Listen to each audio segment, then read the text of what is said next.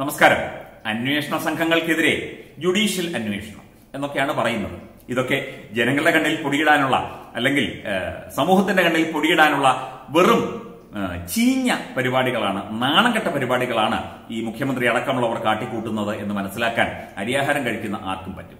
എന്തൊക്കെയായാലും ഡോളർ കടത്തുമായി ബന്ധപ്പെട്ട് ഭരണഘടനാ സ്ഥാനത്തിരിക്കുന്ന സ്പീക്കർ അടക്കമുള്ളവരാണ് ആരോപണ വിധേയർ. വ്യക്തമായി സ്പീക്കർക്ക് സ്പീക്കർക്ക് വിദേശത്ത് നിക്ഷേപം തുടങ്ങാനും വിദ്യാഭ്യാസ സ്ഥാപനങ്ങൾ തുടങ്ങാനുമുള്ള പദ്ധതി ഉണ്ട് എന്ന തരത്തിലുള്ള മൊഴിയാണ് സ്വപ്നയും സരിത്തും നൽകിയത്. അവരേതായാലും സ്പീക്കറെ മനഃപൂർവം കൊടുക്കണം എന്ന് വിചാരിച്ച് മൊഴി നൽകും എന്ന് തോന്നുന്നില്ല. ദാ കൂടുതൽ ഗുരുതരമായ ആരോപണങ്ങൾ ഇപ്പോൾ സ്വപ്ന സ്പീക്കർക്കെതിരെ ഉന്നയിച്ചിരിക്കുന്നു എന്നാണ് വാർത്തകൾ പുറത്തു വരുന്നത്. സത്യം പറഞ്ഞു കഴിഞ്ഞാൽ അല്പം ഇത്തിരി ഒരു ഇമോറൽ സൈഡ് ഇതിനുണ്ടോ എന്ന് സംശയിക്കേണ്ടിയിരിക്കുന്നു. അത്ര സുതാര്യമല്ലാത്തൊരു ഒരു ഒരു വശം ഇതിനുണ്ടോ എന്ന് സംശയിക്കേണ്ടിയിരിക്കുന്നു എന്ന തരത്തിലുള്ള സ്വപ്നയുടെ മൊഴിയും അതിന്റെ വിശദാംശങ്ങളുമാണ് പുറത്തു വന്നിരിക്കുന്നത്. എന്താണെന്ന് പരിശോധിച്ചാൽ ദുരുദ്ദേശത്തോടെ തന്നെ നിരവധി തവണ സ്പീക്കർ പി ശ്രീരാമകൃഷ്ണൻ സ്വന്തം ഫ്ളാറ്റിലേക്ക് ക്ഷണിച്ചിട്ടുണ്ടെന്ന് സ്വപ്ന സുരേഷിന്റെ വളരെ ഗുരുതരമായ ഒരു വെളിപ്പെടുത്തലാണ് പുറത്തു വന്നിരിക്കുന്നത്. എന്തായാലും സ്വന്തം ഫ്ളാറ്റിലേക്ക് ആരുമില്ലാത്തപ്പോൾ വിളിച്ചു വരുത്തുന്നത് സദ്യ ഉണ്ണാനല്ല എന്നുള്ള കാര്യം പൊതുജനങ്ങൾക്ക് മനസ്സിലാകും. ഇവിടെ മനുഷ്യൻ അരിയാഹാരമല്ലേ കഴിക്കുന്നത്? തേങ്ങാപ്പിണ്ണാക്കല്ലല്ലോ കഴിക്കുന്നത്. അതുകൊണ്ട് ഒരു തരത്തിലും അതിനെ ന്യായീകരിക്കേണ്ട. നമ്മൾ ഉറപ്പൊന്നും പറയുന്നില്ല കേട്ടോ. സ്വപ്നയുടെ വെളിപ്പെടുത്തലാണ്. ചാക്കയിലെ തിരുവനന്തപുരം ജില്ലയിലെ ചാക്കയിലെ ചാക്ക നമ്മുടെ ഓഫീസിന് വളരെ അടുത്താണ്. ചാക്കയിലെ ഫ്ളാറ്റ് തന്റെ ഒളിസങ്കേതമാണെന്ന് പലപ്പോഴും സ്പീക്കർ പറഞ്ഞിട്ടുണ്ട് എന്നും കൂടി സ്വപ്ന വെളിപ്പെടുത്തുകയുണ്ടായി. നിരവധി തവണ വിളിച്ചിട്ടും അവിടേക്ക് താൻ തനിച്ച് പോയിട്ടില്ലെന്നും ഉള്ള മൊഴിയും അതിന്റെ വിശദാംശങ്ങളും കൂടി സ്വപ്ന നൽകി. സ്പീക്കറുടെ വ്യക്തി താല്പര്യങ്ങൾക്ക് കീഴ്പ്പെടാതിരുന്നതിനാൽ മിഡിൽ ഈസ്റ്റ് കോളേജിന്റെ ചുമതലയിൽ നിന്ന് തന്നെ ഒഴിവാക്കി. മിഡിൽ ഈസ്റ്റ് കോളേജ് തുടങ്ങാനായിട്ടുള്ള നിക്ഷേപക സംഗമവും അതുപോലെ തന്നെ നിക്ഷേപങ്ങൾ സ്വരുക്കൂട്ടലും ഒക്കെ നടത്തി ലഫീർ മുഹമ്മദ് എന്നയാളുമായി ചേർന്ന് വലിയ കച്ചവടമൊക്കെ നടത്താനുള്ള പ്ലാൻ സ്പീക്കർക്ക് ഉണ്ടായിരുന്നു എന്ന കാര്യം സ്വപ്നം തന്നെയാണ് വെളിപ്പെടുത്തിയത്. എൻഫോഴ്സ്മെന്റ് ഹൈക്കോടതിയിൽ സമർപ്പിച്ച രണ്ടാമത്തെ റിപ്പോർട്ടിലാണ് ഇത് സംബന്ധിച്ച് സ്വപ്ന സുരേഷിന്റെ ഈ മൊഴി പ്രതിപാദിച്ചിരിക്കുന്നത്.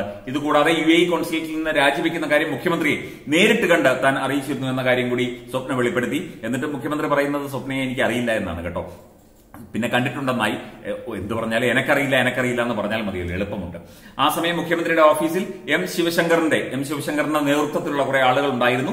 സി എം രവീന്ദ്രൻ അതുപോലെ ദിനേശൻ പുത്തലത്ത് അടക്കമുള്ള സംഘമായിരുന്നു ഇവർക്കൊപ്പം ഉണ്ടായിരുന്നത് എം ശിവശങ്കറിനൊപ്പം ഉണ്ടായിരുന്നത്. മുഖ്യമന്ത്രിയുടെ ഓഫീസിലെ ശിവശങ്കർ ടീം ശിവശങ്കർ ടീം എന്നാണ് സ്വപ്ന അതിനെ വിശേഷിപ്പിച്ചിരിക്കുന്നത്. സർക്കാരിന്റെ പല പദ്ധതികളും ബിനാമി പേരുകളിൽ തട്ടിയെടുക്കുന്നുണ്ടെന്നും സ്വപ്നയുടെ മൊഴിയിൽ പരാമർശിക്കുന്നുണ്ട്.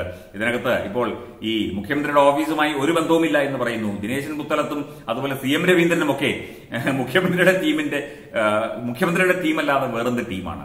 ശബരിമല വിഷയത്തിൽ മുഖ്യമന്ത്രിയെ കൊണ്ട് ഈ കളിയെല്ലാം കളിപ്പിച്ചത് ഈ ദിനേശൻ പുത്തലത്താണ് എന്ന് അന്ന് ആരോപണമുണ്ടായിരുന്നു. അദ്ദേഹമാണ് പല കാര്യങ്ങളിലും തീരുമാനമെടുക്കുന്നത് എന്ന തരത്തിലുള്ള ആരോപണങ്ങൾ വന്നിരുന്നു. അതുപോലെ തന്നെ മുഖ്യമന്ത്രി പിണറായി വിജയന്റെ സഹധർമ്മിണി കമലേച്ചിയുടെ നാട്ടുകാരനാണ് C M Raveendran. C M രവീന്ദ്രനെ കുറിച്ച് വന്ന ആരോപണങ്ങളും ഗുരുതരമായ വിഷയങ്ങളും ഒക്കെ നേരത്തെയും ചർച്ചയായതാണ് വിവാദമായതാണ് ഇപ്പോൾ തെരഞ്ഞെടുപ്പ് അടുത്തപ്പോൾ അതൊക്കെ ഒന്ന് ഒതുങ്ങി എന്നുള്ളതല്ലാതെ അന്വേഷണമൊക്കെ ശക്തമായി തന്നെ നടക്കുകയാണ്.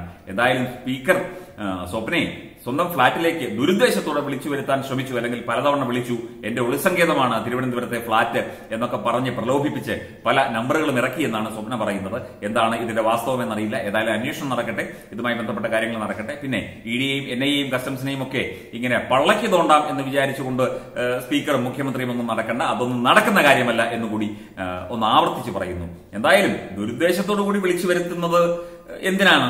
നമുക്കറിയില്ല. സ്വപ്ന പറഞ്ഞതാണ്. എന്താണ് ഉദ്ദേശം എന്ന് സ്പീക്കർക്ക് മാത്രമേ അറിയൂ. നമുക്കറിയില്ല. Web desk തത്വമേ news